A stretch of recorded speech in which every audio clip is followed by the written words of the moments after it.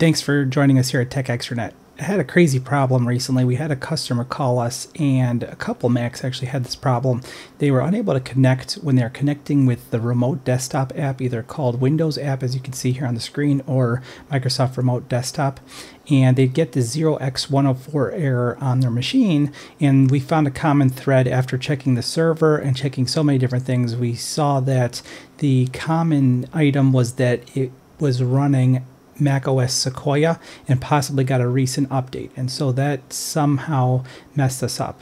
And so what we did was we were able to find out the problem and resolve the issue, which was great. And we're going to help you do that right now. Go ahead and click on the Apple menu on your top left of your screen. And then go ahead and select System Settings from the drop down list. And then from there, you're going to see a screen that's just like this.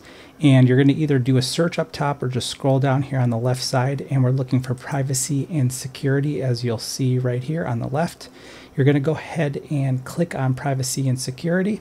And then from there, you're going to be looking in this list for local network. This is a good place, by the way, to be aware of because many different things can be disabled or enabled here. And you might want to triple check and see, you know, what what's spying on you or what has access to your machine that you're not aware of. It's good to look through this. But moving forward here, the local network is where you want to go. And in here, you'll notice that Windows app is happens to be the first item in this list, and it was actually off for the user. So that's what actually shot us in the foot. The user could not connect at all. It just had no access. And what we found out is that possibly a pop-up window pops up the first time you run Windows app or the first time you run the actual remote desktop as well and says, do you want to have access? Now this could be related to a brand new Mac OS update for Sequoia or Sequoia itself, but the user may have hit no or didn't get the box at all. And so that's what messes it up. So you have to make sure to turn that on here. We turned on a couple applications as well that we were using, and that did the trick for the user, and they were pretty happy and on their way.